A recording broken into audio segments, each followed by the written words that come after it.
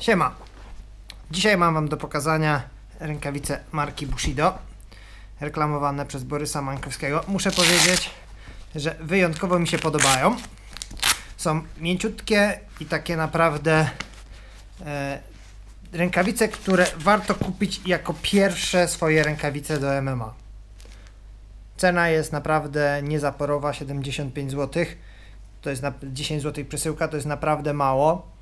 E, a jest taka, że jest jakaś tam ochrona kciuka, mogłaby być troszeczkę lepsza, troszeczkę dłuższa, biorąc pod uwagę, że to jest rozmiar L, kupiony większy dla mnie, widać, że jest większy, e, z tego tylko powodu, że używam pod to przeważnie bandaży dodatkowo, ze względu przede wszystkim na, na kciuk. No tutaj to jest zdecydowanie za mało. Jak na razie po miesiącu użytkowania nie wytarło mi się nic w tej skórze. Także muszę powiedzieć, że jestem bardzo zadowolony z, z tych rękawic.